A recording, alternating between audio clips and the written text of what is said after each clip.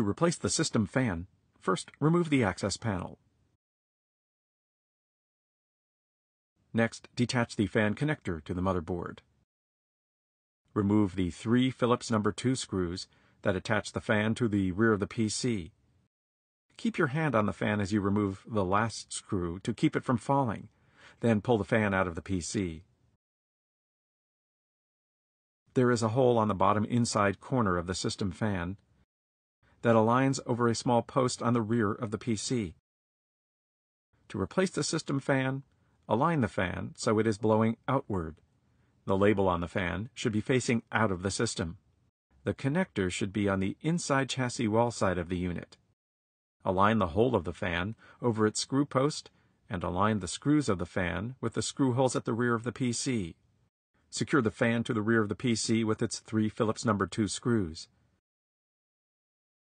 Make sure the hood sensor cable is not trapped by the fan against the rear wall of the PC. Reattach the fan connector to the motherboard.